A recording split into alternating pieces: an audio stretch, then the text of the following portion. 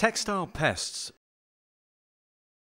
Textile pests are insects that can cause damage to clothes and the fabrics in our buildings that are made up of natural fibres.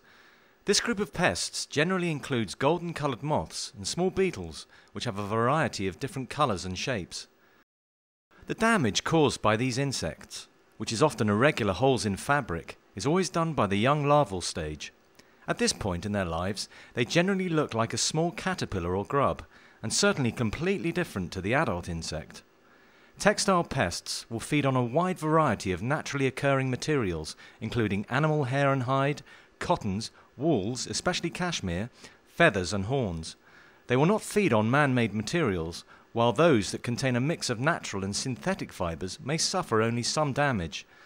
The larvae will mainly feed in quiet, undisturbed locations, such as underneath heavy furniture and around its feet, around the edge of carpets, in wardrobes, and drawers in stored clothes.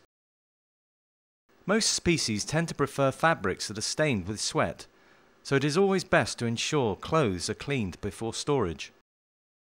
The beetle pests in this category will typically be seen clustered on windowsills as they try to escape from the property to feed on nectar outside. The moths, however, are quite lazy and do not generally move far from where they are feeding. As a result, you tend to only see evidence of these pests when you notice the damage. All these insects generally cause most damage during the warmer summer months. However, in very warm homes, the period of feeding can be extended.